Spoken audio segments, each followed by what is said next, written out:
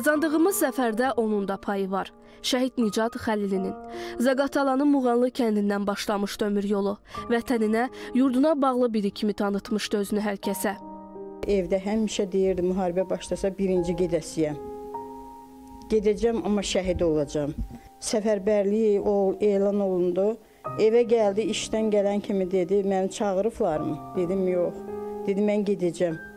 Özü Əlatdan gedir, oradan Vayankomatdan.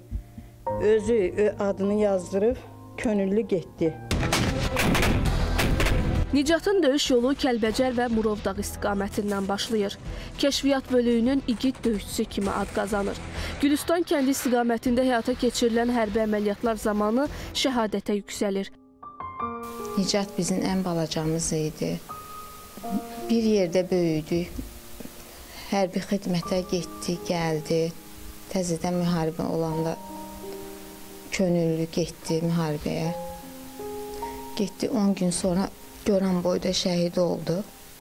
Nicatın da uğrunda döyüşdüyü torpaqların azad olması yaxınlarının ən böyük təsəllisidir. Biz onu gözləyirdik ki, o qələbə ilə qayıdacaq, lakin o şəhid oldu.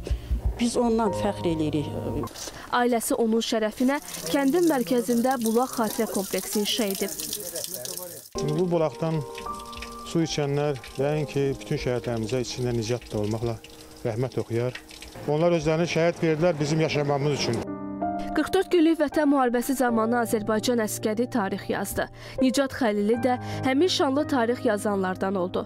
Azərbaycanın ərazi bütövlüyünün təmin edilməsində xidmətlərinə görə şəhid qəhrəman Vətən uğrunda, su qovuşanın azad edilməsinə görə və cəsur döyüşçü medalları ilə təltif edilib.